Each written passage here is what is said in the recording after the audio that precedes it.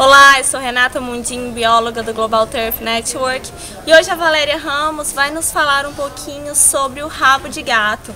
Essa planta que antigamente, né, um tempo atrás, alguns anos atrás, todo mundo tinha, mas infelizmente com o passar do tempo foi sumindo. E é muito bom quando você encontra, olha gente, que beleza, muito bonito. E é por isso que eu fiquei curiosa. Val, como é que é o cuidado? Quais são os cuidados que você tem com essa planta? Renata, ela é uma planta muito rústica, muito fácil de cuidar, não tem muito cuidado especial não. Eu molho, tento molhar, por, por ser praia aqui, todas elas eu molho, as folhas também, molho bastante, porque é por causa da marisia, muito claro, sal. É, muito sal na Então planta. eu jogo água assim para poder Isso dar uma é muito lavada. importante, viu gente? Quem mora aí no litoral tem que estar lavando as folhas das plantas. Lavando que eu falo é jogando água, porque às vezes as pessoas acham que é vir aqui e lavar. Não, não é necessário, é jogar água na planta toda, porque o sal da marisia gruda e começa a causar danos nessa folhagem. E no outro dia ela vai tomar sol, vai estar com marisia, ela vai morrer. E você rega todo dia, Todo Val? dia à tarde. Todo dia à Quando eu tarde. espero o sol, parou o sol, então tá na hora de molhar nas plantinhas.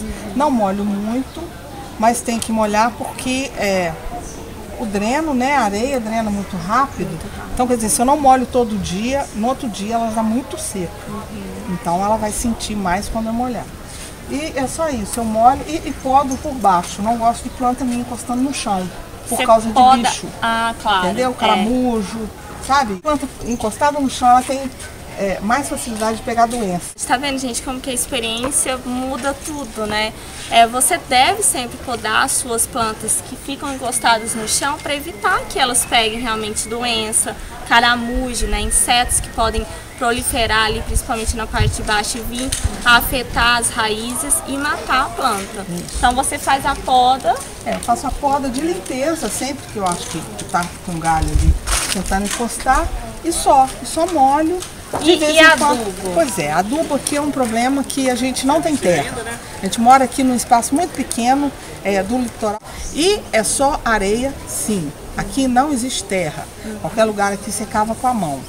Então o que, que eu faço? Eu tenho é, um cantinho ali que eu faço compostagem com casca de legumes, de fruta, borra de café, casca de ovo.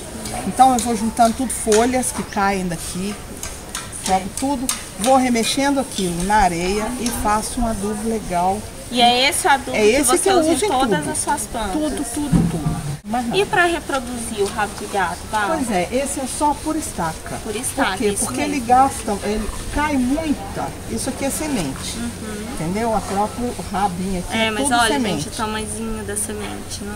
O negócio nem é o tamanhozinho, é porque não nasce. Já plantei, já tentei de todo jeito. Entendeu? Ela é não por estaca. O rabo de gato é realmente É. por estaca. Aí estaca fácil também. É, né? Sabe? Facílimo. Um pouquinho de, de açúcar na água. Tipo, se for um copo, você põe uma colherzinha de açúcar, põe o, a, Uhum. A estaquinha. estaquinha ali, deixa, no outro dia você planta. Nunca deixou de pegar. Tá certo. Então, ó, quem tem oportunidade de estar aí encontrando uma estaquinha de rabo de gato, vale a pena usar esse segredinho da Val pra ter essa beleza aqui em casa, né, gente? Tá linda, né? Então tá, eu volto com vocês semana que vem. Tchau! Até logo. Um abraço a todos.